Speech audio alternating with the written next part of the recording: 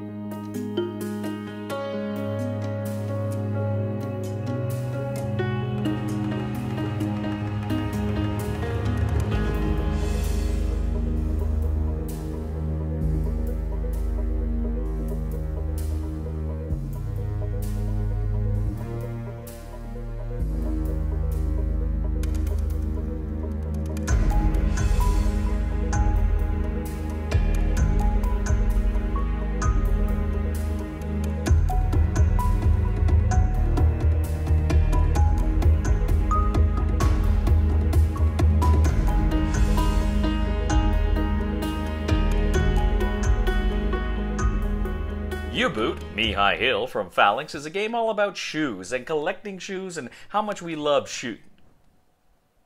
It's a game about a World War II German submarine. Now, essentially, what happens is you have up to four players who take on different roles within that submarine as they go on some kooky adventures. Now, ladies and gentlemen, I'll tell you right now, if you're looking at this video as a way to help you learn how to play this game, you might want to check out some other videos. There are better videos on that. I'm just going to give you the barest overview of how to play this game and then give you my thoughts. The game board is a 3D model of a German U-boat during World War II. You're going to uh, each have, for each of the four roles, you're going to have uh, four figures as well as various player uh, stations, player boards that you're going to put in front of you that rep represent your unique roles. The roles in the game are the captain, the first officer, the chief engineer, and the navigator, and they're each going to do specific things. It's kind of like uh, Captain Sonar, only instead of playing against another uh, real-time crew, you're going to be playing against a real-time app uh, on your computer or tablet that will help you uh, essentially maneuver through the game. So this is another combination of video game and board game integration. Now each player is going to have four different figures for their particular role, meaning you know you're going to have the captain and then the the other officers and crew associated with the captain. Same thing with the engineer, etc., etc. Um, but they're going to have a unique color that will be on all of those, and then a unique shape that will be different amongst the different uh, kind of subsidiary roles. Now, during the course of the game, you may have to pull out tokens from a bag that will reflect a kind of a color and a shape, and it means that specific crew member. But here's the thing: you've got that crew member card, which then you then flip over whenever there's a change of watch. When there's a, there, whenever there's a change of watch, essentially the crew changes to those people, and the the other crew kind of goes back to, to bed, as it were. Now the app is going to go ahead and give you a specific uh, mission, tell you where to go hunting for convoys uh, or, or other objectives, and you're going to go ahead then and plot a course. And this is where the navigator comes in. He's going to use his tools to actually find out where we're going and where you are. There's a little bit of math involved, but it's not too bad. You go ahead, you plot the course, and you set the course in the app. Um, you're also going to be doing other things. For instance, the navigator is also going to be responsible for preparing meals for the crew and make sure that the meals are right. You have different food tokens. You have to prepare them in just the right way in order to make uh, meals for the crew. And you do need to feed your crew, otherwise bad things might happen.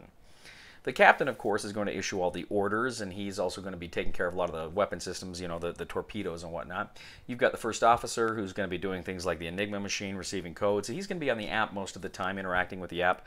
And then, of course, you have the engineer who's going to be fixing things, maintaining things, uh, and that, that's kind of his brief during the game. Now, critically, the captain is going to issue orders. Now, he has to issue a mobilize order so that everybody can move to their specific places because each of your figures has specific icons on it, and you have to have those specific icons in order to do those specific tasks. So the captain will issue a mobilize order, and that mobilize order will let everybody on the boat move to different stations in order to take care of whatever it is they need to take care of. But whenever the captain issues an order, he moves his order figure along the order track, and he moves those all moves that all the way down. Now, once it gets to the very end, if he still has to issue orders, he can issue orders on the morale track. Now, the problem here is if you issue orders on the morale track, whenever you move down to certain spots, you're going to have to draw certain cards, and bad things are going to happen. You've got three decks you draw from, and the further down you go, the the, the more scary and potentially dangerous those morale cards will be. First officer is also going to be drawing uh, event cards. If ever the app says to draw an event card, that will trigger some kind of events on the board. And he's also going to be responsible for handing out kind of the, the, the injuries and the first aid cards, depending on if, if, if, something happens and they may get, a certain crew member may get an injury, he's going to go ahead and draw those cards as well. Now, critically, as you are engaged with the game, you're going to be trying to sink your enemy ship. So you've got to make sure you set up the, the attack angle right. Um, you can listen through through sonar to kind of hear where they are and attack them, or you can look through the periscope and kind of see where they are to attack them. You've also got some guns up top, so you can fire at uh, uh, incoming aircraft. You can also take shots at uh, uh ships, but if you're submerged, of course, you're going to want to use the, the torpedoes, and that takes actions, of course, to, to load, to flood, and then, of course, to fire. So essentially, you follow the prompts from the app, you sail around the sea searching for those convoys, you blow them up to gain renown, to gain fame, and then when you know it's appropriate, you can come back to the uh, port, uh, assuming you haven't been killed on your mission. And when you come back to port, then you kind of look at your renown, you see how well you did. And of course, the point of the game is to try to gain as much renown as possible and be the greatest U-boat crew of all time. So, friends, again, this is just a very I'm just scratching the surface of the rules for this game. Um, in fact, I'm going to go ahead and go out and say here, this ha probably has the biggest learning curve of just about any game I've ever played. Um, there is a lot of minutia here. This game says it is a U-boat simulator. They ain't lying.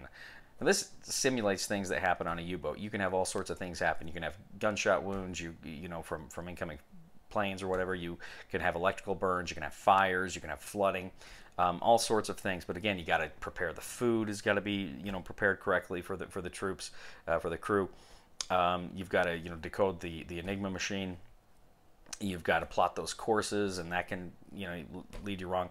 This is very much a simulator. But when you um, kind of, and, and, I'm going to be blunt. Uh, I'm not even sure we played everything 100% correctly here. In fact, I'm almost certain we did not.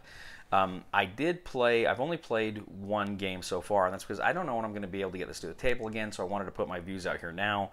And if I get back to it again, maybe I can make another video or, or, or just let you know kind of what my thoughts are once I played it again. I will say this about this game. Once you kind of get the basics down, it is incredibly immersive. It is incredibly immersive. You really feel that pressure and you you you feel that that picture in your head and it very much does remind me of Captain Sonar which is one of my favorite games but of course that's um, you're playing against another crew. Here it's it's much more um, there's a real palpable atmosphere here that I like a lot. The game does just extraordinarily well and I really really like that quite a bit. But I that that learning curve is so high. And like i say after reading the rules and rereading the rules and rereading the rules i'm still not convinced i've got everything down correctly. And i i, I just I, i'm kind of torn between this experience because i think this has just got so much good stuff in it. And it is it draws you in so well and it's tense and you're i mean it's it's a great cooperative game. But at the same time it's just bear to learn. And and I wish they had come out with kind of and within there there are kind of ways to make it a little easier and a little harder. But I really wish there were just there was just an uh, an even more streamlined set of rules that was just completely streamlined that maybe eliminated some of the things like preparing food and and and, and made it a little easier to, to, to kind of solve the math things for the navigator or uh, maybe you could you didn't have to mobilize or I don't know just just things that, that would make the experience move a little better, move a little easier. I wish, I wish that was part of it. I wish they'd made kind of a, a U-boot for dummies scenario or whatever. So what I'm saying is, U-boot is a mixed bag. If you are willing to put the time into this game, if you are willing to put the the the, the effort and mental you know work into this game, I think you will really really like it. I think you will be richly rewarded. Um, I've talked to some people who love this game. But if you're a more casual player, this game's probably not for you because it, it you you need to study it. I mean, I, I told my friends before we played it, you know, I'd read the rules and I'd read through it, I'd read through it, and I told all my friends, uh, you guys probably want to read up on the rules you're going to play before we play it. And I don't think any of them did. uh, I even I even just said, you know, just watch a video on the rollers, just so you're, you're familiar. And I and I don't know that any of them did. Maybe one of them did and it hurt us, you know, because this is one you want to go into knowing as much as you can before you play it, because it's just a bear.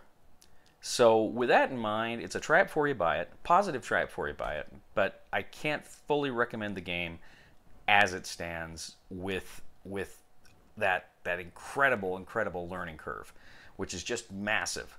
Um, I want to play this again, and when and if I do, and I'm I, am pretty sure I will at some point. Uh, I want I'm eager to give you my thoughts again and see how my, my thoughts on this game evolve. But that's my two cents. Try it before you buy it.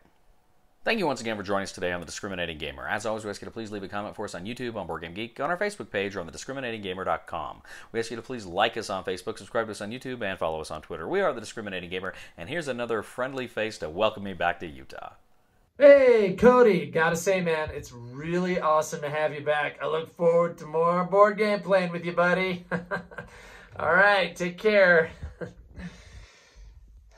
gosh, he picks like the worst time to have me do these stupid videos. Please somebody help me on my feet again. And I don't know where I'm going,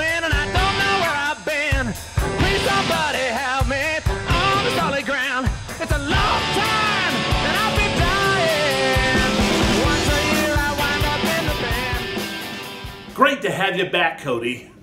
Gosh, you think that'll satisfy his ego? You're right. Nothing will.